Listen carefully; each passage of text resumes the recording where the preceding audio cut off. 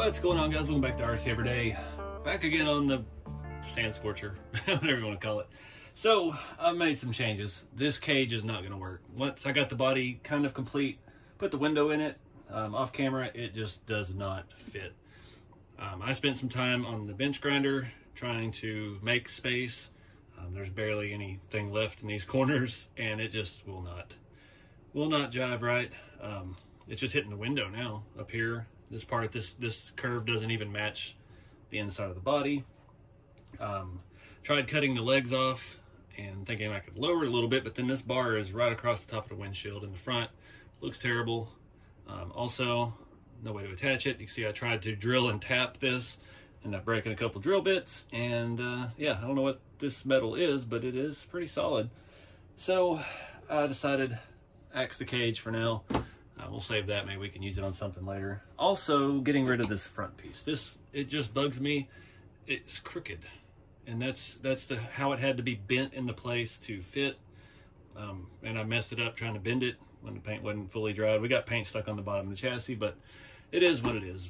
These look good with the front exposed. Um, I mentioned in the last video, I sprayed the chrome with the satin clear. Um, came out looking real nice, put the headlight lenses back on. Um, I'm still happy with the body. I went ahead, installed the, the glass.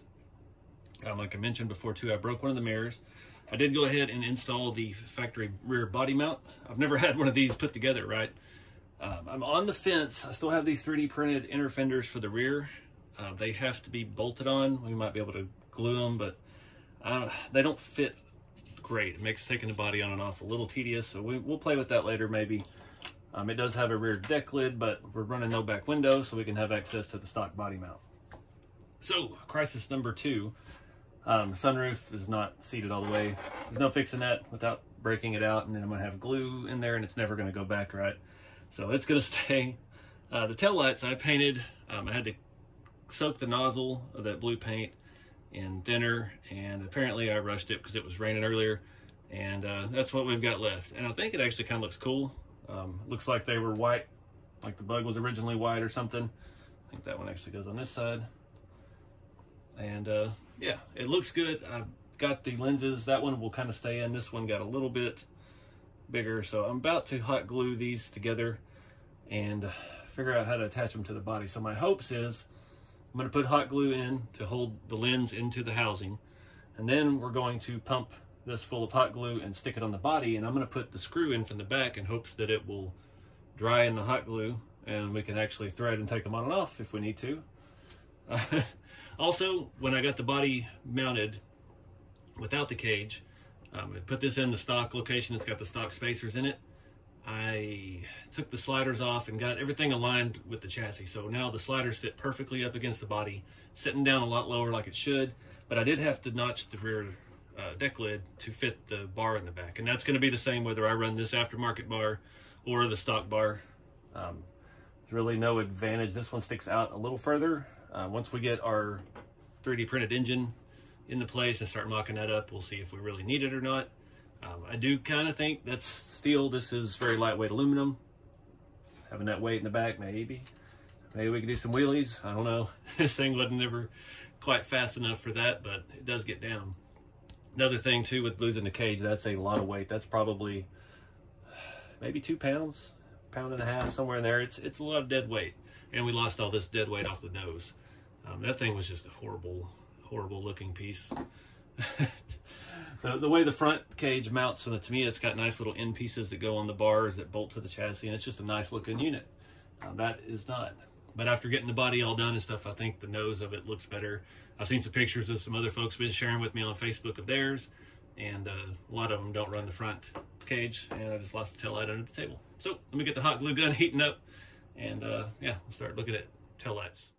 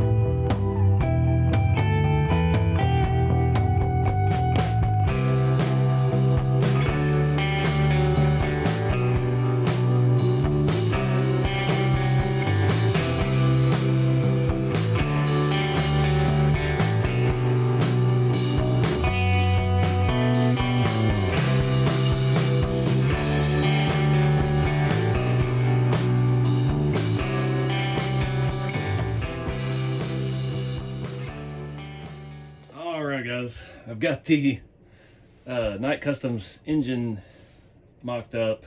Uh, it's not fitting, of course. We're gonna have to trim some more of the deck lid. I hate trimming after we painted, but we don't have a choice. Should have uh, test fitted a little further along. I was That cage was holding me back because I couldn't do the body mount. Now you see the body mount is not clipped on and we are setting on the breathers for the scale flat four.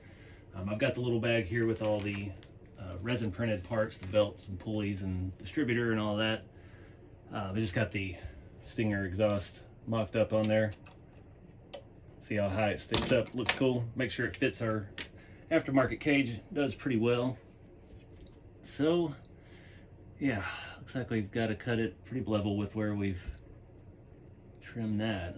Maybe even higher, I don't know. I'm just gonna start cutting and see what happens. All right, first rough cut.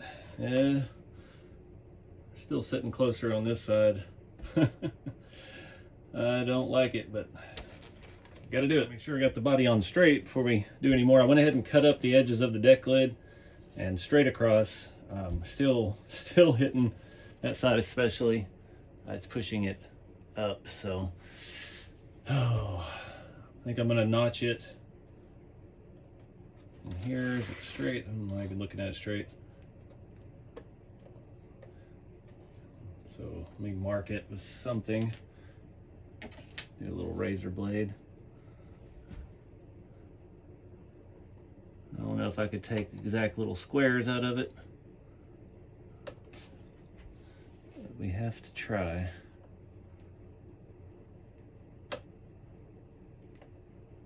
Dang breathers. All right, I think that'll do it. Um, not sure yet what to do about the edges. I really want to black out the inside of the body because right now I don't have any interior at all. um, it's a little late to spray it. so I'm not sure yet what we're going to do about that, but we'll hit that edge when we get there. Um, I could mask and just paint the underside of that blue, but then we got to come back and dull it and do all the things to match it. So I'm not sure yet. But anyway, we're going to move forward with painting the engine. So let me find, I'm going to look at some pictures. I don't even know what color to paint the engine. Um, you can see it does fit over the transfer case. I had one of these engines on this body, on this chassis a long time ago, and we robbed it to put on the Volksrad. And uh, uh, that part was already painted black to kind of blend in. So yeah, I need to look at some pictures again and look at my other one. I know what I'm going to paint the tailpipe, so if I have any. I use uh, just a regular, where's it at? Rust-Oleum chrome paint. And then once we hit it with the rust streaks, it looks like iron pipe. It's a very cool looking exhaust paint. Um, I like to do that on pipes of all kinds. So that's my plan for the exhaust. But for the rest of it, I have no idea.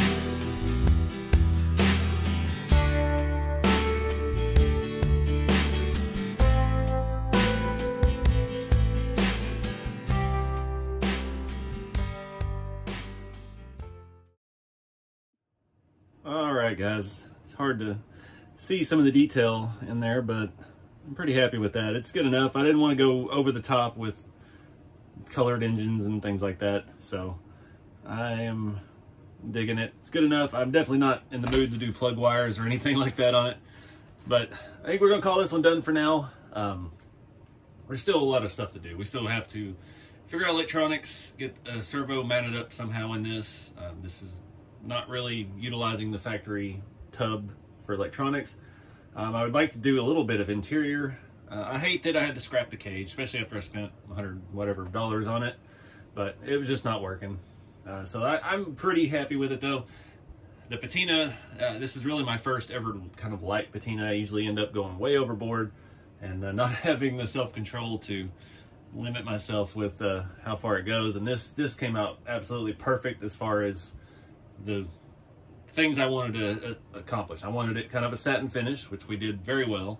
Um, I wanted to highlight the door gaps and things like that with the wash. Did that pretty well. There's a few areas we could do a little bit more with, uh, but I'm digging. So I'm going to show you some products and stuff that I used on this because I really kind of didn't talk a whole lot in this video. I'm to grab the paint cans and we can talk about where they are and how I used them. All right, so again, we scuffed it all down with the red Scotch-Brite.